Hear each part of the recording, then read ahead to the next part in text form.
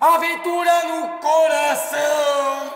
Com Jesus ninguém impede a emoção. Top 5 jogo de videogame começa no 1 do Tecato SIC, a gente decide. As nossas escolhas do primeiro melhor para o pior, sendo que do 4 pro 5 vira um caos. O SIC é uma porcaria. E quem decide é o Conselho Mundial de Videogame, que somos nós dois. É. Hoje o tema é aventura. Ah, gosto desses, viu? Aventura. Qual que é assim? Me fala, o que significa aventura pra você? Ah, Assim? pra mim, a aventura é o seguinte: é muito Ah. difícil de julgar um jogo aventura, porque pra mim tudo é uma aventura. A vida é uma aventura. Você ir num bar Ó, e a, encher Bru- a, Bruna te, falando. a Bruna te mandou um beijo. Ah, mano, você pode sair de casa e ficar alcoolizado e voltar no meio da uma moita no meio da rua. Pra mim isso é uma aventura. É, chama Super Mario Bêbado. O meu marido mesmo. É. Você pode sair com seus amigos, levar um murro no meio da boca, no meio da rua. Isso pra mim foi uma aventura. Chama Super Mario. Você pode um cacete dos seus pais. É uma aventura. Super Mario bosta. Aventura é difícil de julgar, então a gente julgou do jeito que a gente achou melhor. Certo. O número 1, um, que Topper, Topper. o jogo de Topper. número 1. Um. O Topper. O número 1. Um. Topper. O número 1. Um. O Topper. O número 1. Um. Topper. O número 1. Um. O Topper. O número 1. Um. Topper. É o top. Ah, ah. Que eu acho que ele é um jogo que era realmente uma aventura muito louca. Me fala. Que começou nos computadores. Príncipe of Persia. Você botou Concorda? Príncipe Concorda? of Persia pro Porque primeiro. no jogo não era só você matar a pessoa. Você andava, você se movimentava, subindo no negocinho. Aí tinha uma, os espinhos.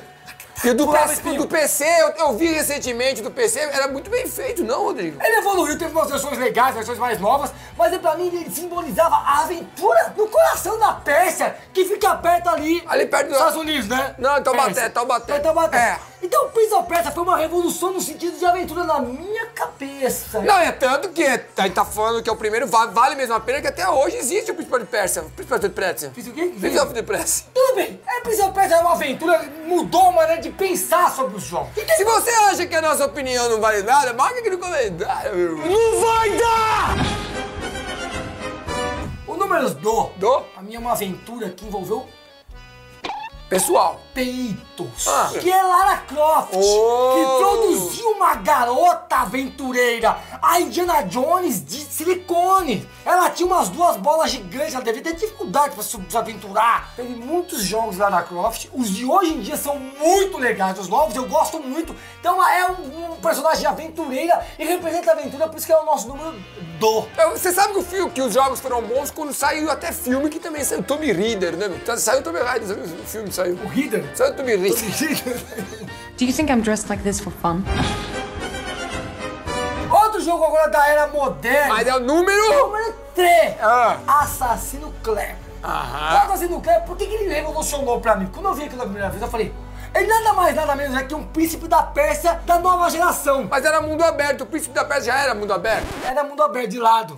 Então, o Assassino Kleber era tipo o príncipe da Pérsia da revolução, da tecnologia modernizada. Mundo aberto, você andava. Aquele gráfico impressionante, cada vez impressionou mais e virou 349 jogos. Eu gosto de todos, cada vez maior, mapas maiores, mapas maiores. Fale, Também tem um filme, que filme? Príncipe da Pérsia. Tô falando do Assassino Creed. Ah. Não é Assassino Creed, eu tô falando.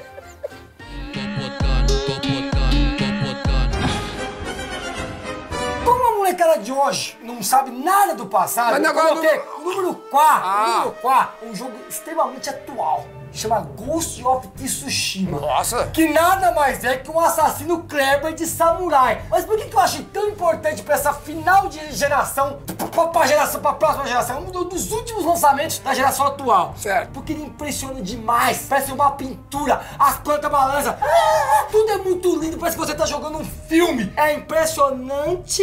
Galera da Que tem Playstation, pode comprar e compra no meu patrocinador, que eu já show, embolso uma grana. Malandro é o cara que sabe das coisas. O número 5 é o jogo lixo. Teve um jogo de Mega Drive que se titulava sendo uma grande aventura espacial. Toy Jan Year. Nossa. Dois alienígenas num mundo maluco e que você não entendia nada. Tipo um ET do mundo moderno. Então pra quê? Pra gente disputar e ver quem vai tomar o café gostou, jogaríamos Toy Jan Year os dois ao mesmo tempo. Você nem falou sobre o jogo, achou só isso, Já é sua falei que o jogo é opinião. confuso, não dá pra entender nada. Por ser confuso é bom pra disputar. Tá. Porque o programa é nosso, quem decide sou eu. O programa é nosso, mas quem decide sou eu, entendeu? Eu não sei se faz vamos jogar de dois. Quem fizer coisas mais importantes ou sobreviver mais tempo, ou conseguir fazer algo importante no jogo que não faz sentido, não toma café gostoso. Tá saindo, Você um, pouco, tá saindo um pouco do café gostoso já. Não, não tá, porque você tá gravando vídeo, vai de conta você grava em vários dias. Você aceitou as regras ou não? Quais são as regras? Café gostoso! Sabia que tinha a versão brasileira desse jogo? Antônio. Quem sabe o que vai falar? Antônio já ia.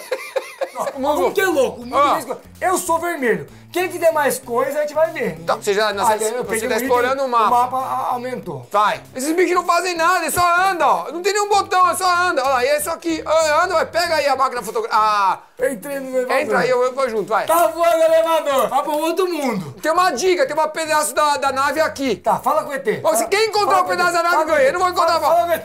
Para, não vou Fala o não vou falar, não. Que- Não, para de apertar o botão. Quem encontrar o pedaço da nave ganha, vai. bom, tá bom. Quem encontrar o pedaço da nave vai ter que ir junto. Ai, que eu bato no ET? Vai, vai. Quem pegar, quem encontrar o pedaço da nave ganha, é isso? É, é. Quem encontrar ganha. Sai, sai, sai. Sai da frente, Peixe. Peixe. Peguei o peixe. Sai, Peguei- Rodrigo! Peguei três itens. Já tô Não, não, não, não tá, não. peguei três Você itens. tomou alguma peguei coisa, três, você tomou tem Tá banhando o café, tá banhando. Sai! Perdeu, morreu. Ah, tá banhando. Quem disse que eu morri? Ele Não dividiu a tela, ele dividiu a tela. Tá Quem bom. encontrar Você está um pedaço da nave Beleza, então. ganha. Tá Quem encontrar Quem o... encontrar o pedaço da Ô, nave ganha. valeu! Olha quem encontrou aqui. Isso aí não é o pedaço da nave. Encontrou o pedaço da nave, Rodrigo. Isso aí não é o pedaço da nave. Recebe o que tenho eu para derramar agora, né, Beteca? Olha a navinha voando, a navinha da alegria. Sabe qual nave vai voar agora? A nave do café. Porra, diretor, você vai É tomar a essa... o quê, Ricardo? Você vai tomar isso aqui. Café gostou? 2.0. Olha a nojeira que tá esse copo. Bota café aqui. Bota sal. Aí você faz o quê? Dá aquela tchuc, e você pega o wasabi. Você tá pondo muito, cara. Vai se... fu- Ó, mano, você vai, você vai tomar esse negócio inteiro quando for minha vez. Tá bom. Ah, mano, que nojo. Vai, mostra. A pasta, abre a boca e mostra. Isso mesmo. Não, aperta eu. Tem mais café pra, pra tirar o gosto. Não pode cuspir, não. É o SBT.